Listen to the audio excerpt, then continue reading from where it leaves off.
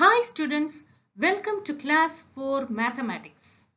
Today we are going to start the first lesson, building with bricks. Our topic for today is shapes and spatial understanding, 2D and 3D shapes.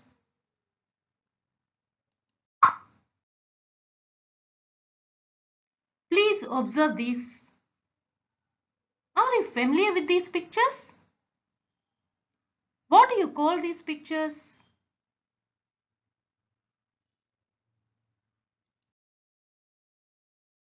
Yes, you are right. Shapes. Spelling S H A P E S. Shapes. All of you have learned different shapes in lower classes. Now closely observe each and every shape you find that there are different types of shapes.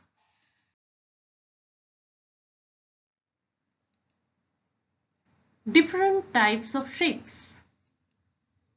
There are mainly two types of shapes.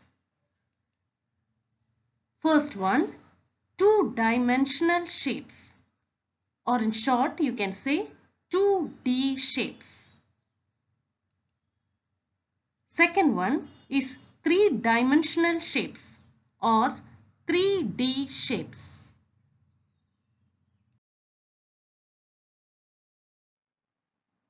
First, we will learn 2D shapes. 2D shapes are shapes which can be drawn on a plane surface.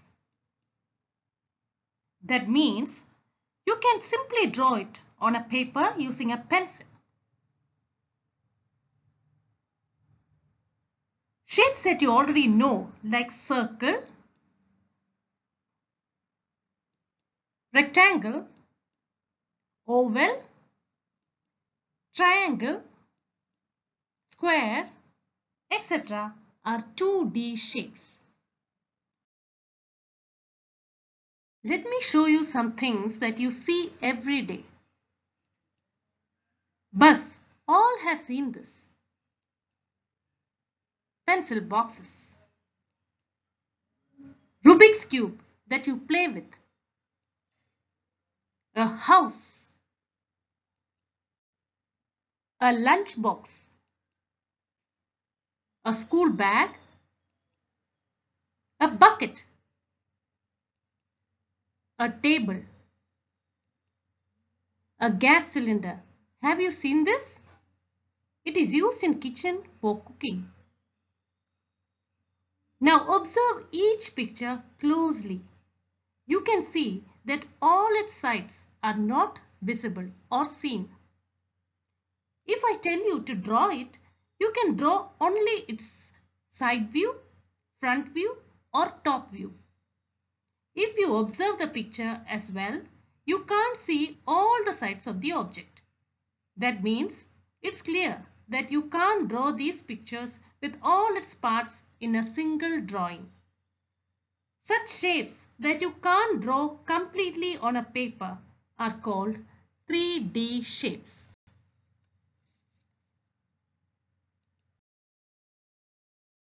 Now we will conclude what are 3D shapes. 3D shapes are those shapes which have height or thickness. It cannot be perfectly drawn on a plane surface or a paper. Some 3D shapes used in mathematics that you will learn later are as follows.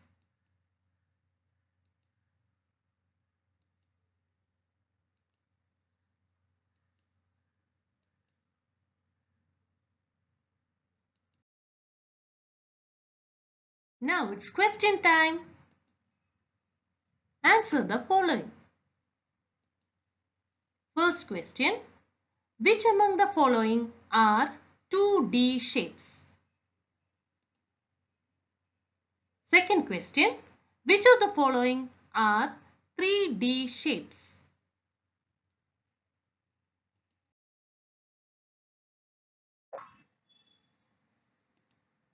Now an interesting assignment for you. Group the following figures into two columns.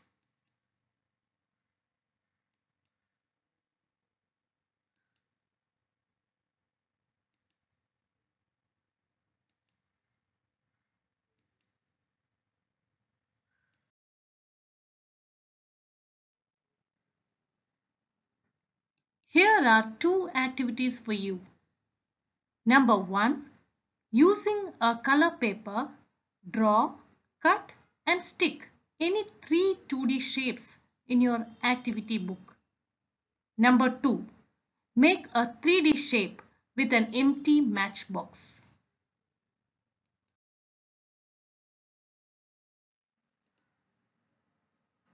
Thank you. See you again.